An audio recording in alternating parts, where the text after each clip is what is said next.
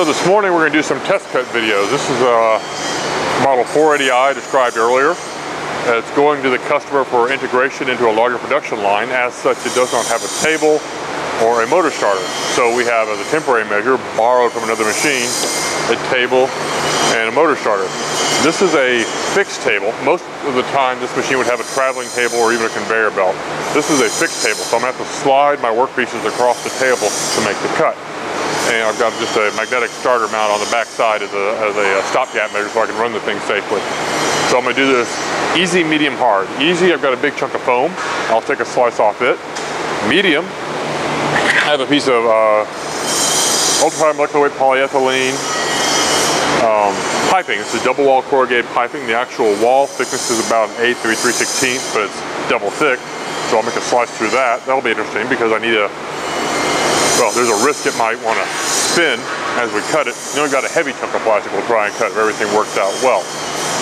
Um, so I'll bring, zoom the camera in a little bit, give you a better view of the cut process.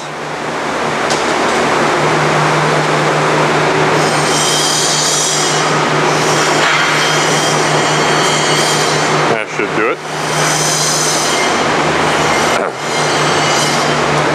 Start the saw up.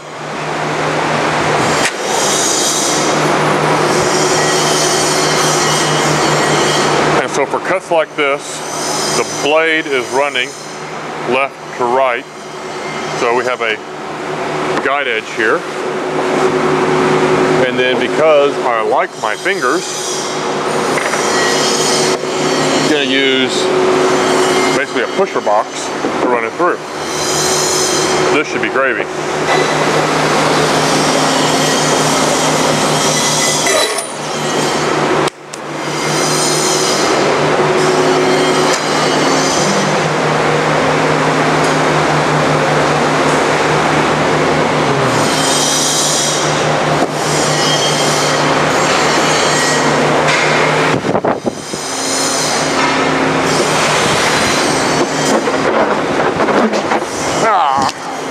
Not heavy, just bulky.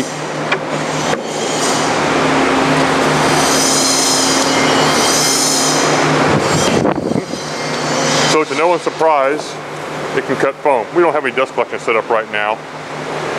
So we're getting no surprise dust. So that's the easy one. Now we'll try something a little more challenging. Chunk of plastic. I'll try and take it down about through a rib here. And like I said, there's some risk it may try to spin. We'll see here what result we get.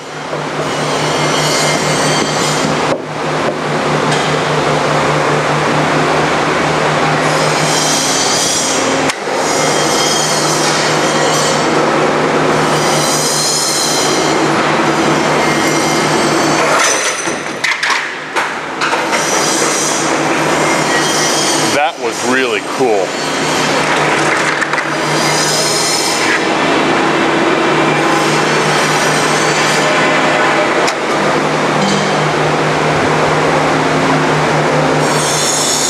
Not the desired outcome, but really cool.